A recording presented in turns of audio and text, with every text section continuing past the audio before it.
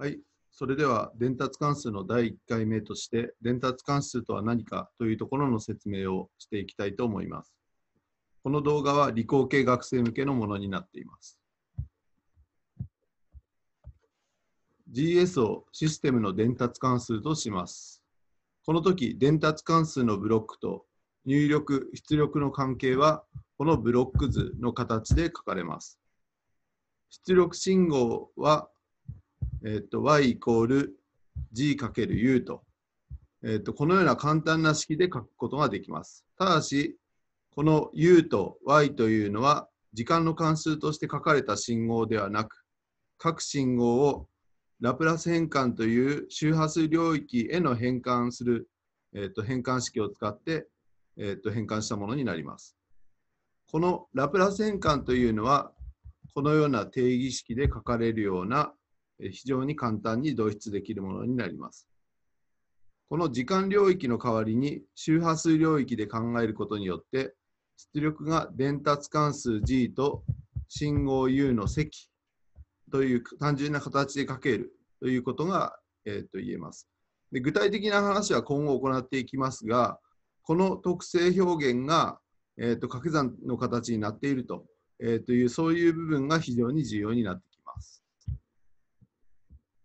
この時、システムの伝達関数さえ分かれば、どんな入力を入れるとどんな出力が出てくるかということが分かります。そのような意味でシステムを伝達関数として表現することのメリットが出てきます。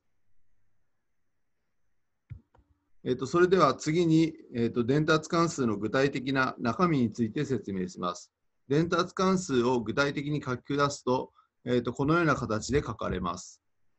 で、この時に、えー、とそれぞれ分子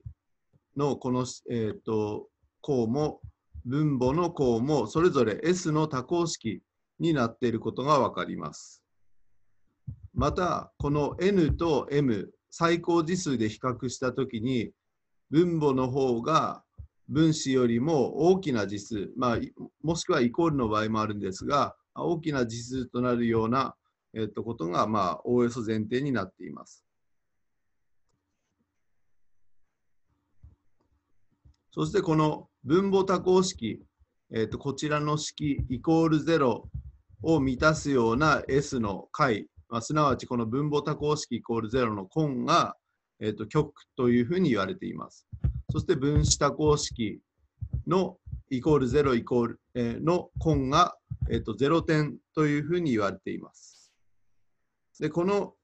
えーと、0点や極、えーと、ともに応答波形や伝達特性を理解する上で非常に重要な、えーと、値になっています。えー、ただし、この詳細については別の動画で、えー、と説明をしていきます。ここで例えば極の大きさというのが信号の追従性能の良さにつながっていきます。えっ、と、これは極0点を表した例になります。例えばこのような伝達関数が与えられたときに、まあ、それぞれ S の多項式ですし、えっと、分母の実数の方が分子の実数よりも大きいと,、えっという関係になっています。そしてこの分母多項式の根は、えっと、極と呼ばれ、極はこの場合はマイナス1とマイナス2。この分子多項式イコール0の根が0点で、この場合はマイナス2分の1と。そういう値に、え、なっています。最後に、えーと、応答波形の計算について、え、説明して終わります。まず入力をラプラス変換し、システム G を作用させます。そしてその作用させたことで得られる Y を逆ラプラス変換することによって制御出力が求まります。ここでこの2つのプロセスは、それぞれ定義に従ってやれば簡単に演算することが可能になります。えー、と次にここですが、えー、とこれはまあ最初に言いましたように単なる GS と US の掛け算ですので、すごく簡単な、えー、と関係になります。えー、とそのような、えー、と3つのステップを踏むだけで、伝達関数を使えば簡単にえーと、応答波形を求めることができます。